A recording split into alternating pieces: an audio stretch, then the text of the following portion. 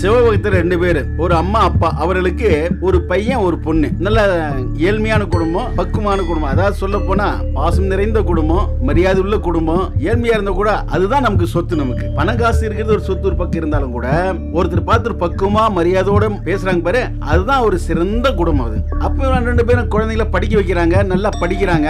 அந்த பசங்களுக்கு நல்ல கல்யாண வயது வந்த உடனே நல்ல இடத்துல வரணும் வருது பின்ன கட்டி கொடுக்குறாங்க. நல்லபடியே இருக்கிற அப்படி எந்த பிரச்சனையும் இல்ல. ஏதோ நேரில் அருளால அந்த சிவபுராண அருளால நல்லபடியா இருக்கிறாங்க. ஆனா பையனுக்கு கல்யாண வயசு வந்துருச்சு. அவனுக்கு கல்யாணம் பண்ண வைக்கணும். எங்கெங்க பொண்ணு தேடுறாங்க கிடைக்கல. எவ்வளவு பணம் செலவு பண்ணாங்க கிடைக்கல. பொண்ணு கிடைச்சாலும் சரியா சாதகம் அமைக்கிறது இல்ல ஜாதகம் சரியா அமைஞ்சா பொண்ணு சரியா இருக்கிறது இல்ல ஒண்ணு வயசு கம்மியா இருக்கு. இல்ல வயசு ஜாஸ்தியா இருக்குது. இல்ல கருப்பா இருக்கு. ஏதோ ஒரு குறை வந்துருது. இல்ல ஜாதகம் செட் ஆகுறது இல்ல இது மாதிரி எத்தனையோ பார்த்து பார்த்து நிறைய செலவு பண்ணிட்டாங்க. லட்ச ரூபாய் செலவு பண்ணாங்க. யார் பார்த்தாங்க. எத்தனை பேர்கிட்ட சொல்லி வச்சாங்க வேற. எத்தனையோ புரோக்கர் பார்த்தாங்க. அவங்க அப்படியே மனம் முடிஞ்சு அப்படியே உட்காந்துட்டாங்க என்னடா இது?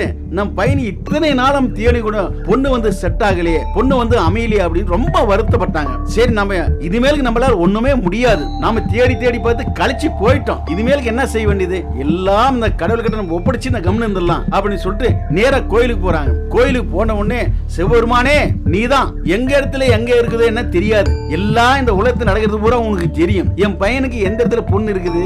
அவ எங்க இருக்கிறா? எந்த திசையில் இருக்கிறா? நான் எத்தனையோ ஆளை தேடி தீய பார்த்தோம் ஆனா இது உனக்கு தான் தெரியும். இதை முடிச்சு வைக்கிறது தேடி கொடுக்கறது நீதான்ப்பா. சிவபெருமானே அப்படின்னு சொல்லிட்டு இது மேல நான் எங்க தேடவே மாட்டோம். எல்லாம் நீ தான் எல்லாம் உன் பொறுப்பு தான் நீ தான் வழி காட்டணும் இது மேலுக்கு. எங்களால ஒண்ணு முடியாது அப்படின்னு சொல்லும் போது சொல்லிட்டு வந்துட்டாங்க. இது மேல நான் எங்க தேடி பலனே கிடையாது சொல்லிட்டு வந்துட்டாங்க. வந்த உடனே ஒரு பத்து நாள் கழிச்சு உடனே அம்மா இது மாதிரி ஒரு பொண்ணு இருக்குது. நல்ல பொண்ணு படிச்ச பொண்ணு நல்ல நிறமுள்ள பொண்ணு இது பாசமுள்ள பொண்ணு. இது மாதிரி பாக்குறீங்களா?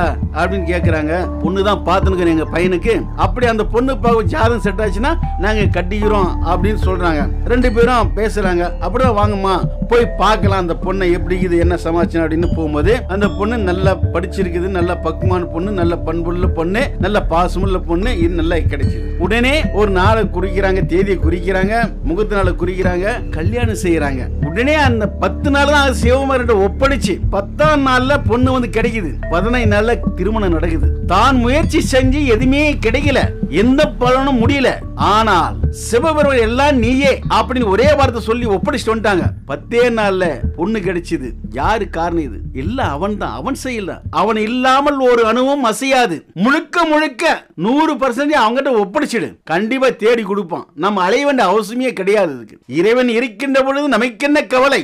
சிவபெருமான் இருக்கின்ற பொழுது நமக்கு என்ன கவலை அப்பதான் அவனுக்கு தெரியுது. நாம் இது வரைக்கும் தேனோம் பொண்ணு கிடைக்கல கடவுளிடத்தில் ஒப்படைத்து விட்டோம். பார்த்தீங்களா? பத்தே நாளில் தேடி வந்துச்சு பார்த்தீங்களா? இதுதாங்க பகவானுடைய செயல் இது. நாம் கடவுளை நம்பினா கைவிட மாட்டார். நிச்சயமா கைவிட மாட்டார். பொண்ணு கிடைச்சது பத்து நாள்ல நிச்சயம் பண்ணாங்க. பதினைந்து நாள்ல கல்யாணம் நடந்தது. நல்ல சிறப்பான முறையில் செஞ்சாங்க. பகவானுக்கு நன்றி கடனாக அபிஷேகம் ஆராதனைலாம் செஞ்சாங்க சிவபெருமானுக்கு. சந்தோஷமாக செஞ்சாங்க. குடும்பத்தோடு போய் செஞ்சாங்க. பகவானே உன்னை நம்பினோம். எங்களை கைவிடல. இதுதான்பா எனக்கு சந்தோஷம். அப்படின்னு. ஓம் நம சிவாயா.